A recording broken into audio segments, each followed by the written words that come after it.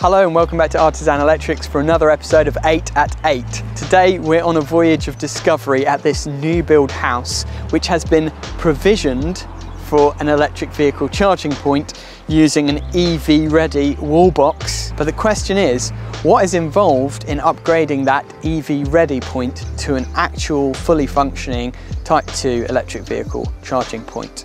Well, we're going to do a little deep dive for you guys today and show you exactly what's involved. Hit a thumbs up, subscribe if you haven't done so already, and share it out with somebody else who might benefit. Let's get into the video.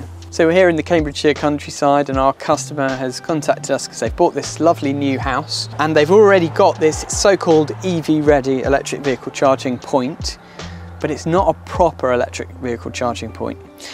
It is what we call an EV ready wall pod essentially. This one's by Rolec, other brands do exist, but basically it's a point that's been provisioned to be out upgradable to a proper electric vehicle charging point in the future. So at the moment, all it's got is a single 13 amp socket outlet in the front of it, and then an RCD. The idea behind these points though is that they should be easy to upgrade to a proper mode 3 electric vehicle charging point in the future where you can plug your vehicle in with a proper plug and charge it at 7 kilowatts. So the question is what's involved? How have they wired this up? What is inside? And can we upgrade it to a smart charger or are we stuck with a dumb charger? All of that is what we're going to get into right now. So the first thing we need to check is inside the house consumer unit, what size circuit breaker has this been fitted to and what size cabling have they used because that will enable us to know what size charging point we can upgrade to. Let's go inside.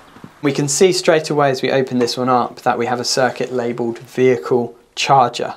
So that's a good start because any electric vehicle charging point should be on its own dedicated circuit. The rating of this circuit breaker though is a little bit worrying because it's on a B16, so that's a type B 16 amp circuit breaker, which means that in its current form that circuit can only supply up to about 3.6 kilowatts of power. So what we're going to need to do is take the cover off this consumer unit to see what size wiring they've actually installed from here to the charging point and that will tell us whether we're able to upgrade this to a higher power circuit breaker, which could potentially supply a 7 kilowatt charging point outside. So straight away I can see from having the cover off we've got good news. This is a 4 millimeter squared conductor which can conduct up to 32 amps of power which means that we will be able to upgrade this circuit breaker if we want to to a 32 amp circuit breaker and therefore fit a 7 kilowatt charging point on the outside of the house, which is really good.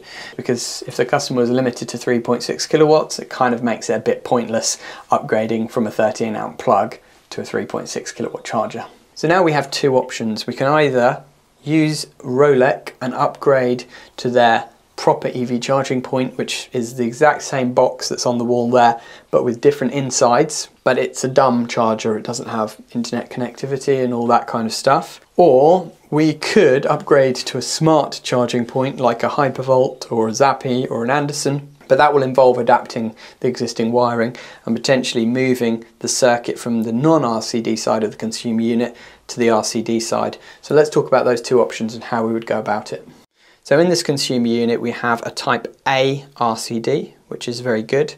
That means that if we wanted to install a Hypervolt we could install it on this spare circuit way, put a 32 amp circuit breaker in there, and then just remove that wire from there and put it into there, reuse the existing wiring that's going outside. We've also got something missing in here which is surge protection and with the new 18th edition of the wiring regulations surge protection is required in the second amendment that's just come out so we will need to retrofit a surge protection device either in the consumer unit or in the meter box now interestingly, it looks like they've wired it in armoured cable, but I see no evidence of the cable actually being glanded properly into the board.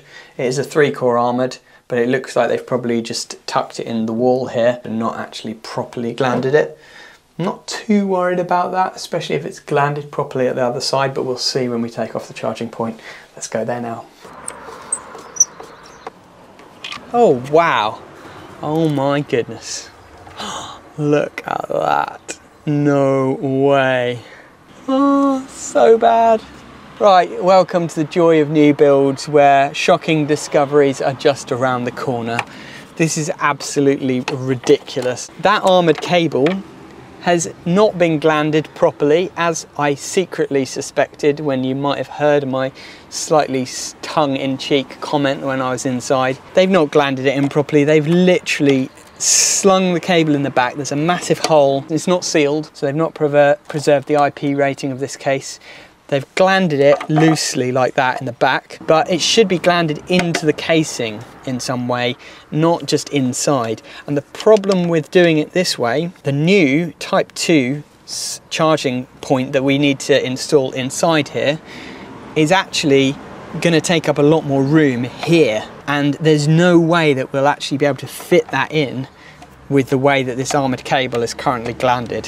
So that means that we're going to have to basically re-terminate this cable in order to actually fit a proper electric vehicle charging point on here. If they'd just done it properly in the first place, then it would have been a lot easier for us to do the install upgrade. So this black conduit running down the wall here contains a green and yellow wire which is for an earth electrode and basically that's because the regulations require you to either have an earth electrode for an electric vehicle charging point or to have what's called a pen fault detection device. We usually just fit very clever charging points that have pen fault protection built into them, but these very rudimentary charging points don't have any of that. So the only solution is to stick a copper bar into the ground with an earth wire connected to it. It's basically a copper rod that is bashed into the ground that has contact with earth and it creates a true earth connection. So in summary, the options are either we can swap out the guts inside this for a proper Rolec's electric vehicle charging point which will fit in this same box. The disadvantage of that is that this cable, how it's been installed, we're going to need to fix that. So we're going to have to partially rewire this in order to tidy it up and make it all work properly and safely. The other option that we could do is remove this whole box completely and fit a smart charging point that has all the safety features built in. That means that earth electrode is not needed. We would have Wi-Fi capability with the charging point. You'd have all the functionality like being able to monitor how much electricity you've used on each charge, being able to digitally lock it off so that not any old person can just rock up and charge it. But that means obviously that this case is kind of redundant and we'd need to just rip it out and start again essentially. So as you can see, it's not always as simple as it might seem having an EV ready wall pod. There's a lot of things that need changing in order to get it up to the standard that we want. So make sure that you get somebody to do it properly. And if you're in our area in Cambridge, obviously we'd be happy to help. But either way, I hope this video has been of interest and benefit to you and we'll see you on the next one. Thanks for watching.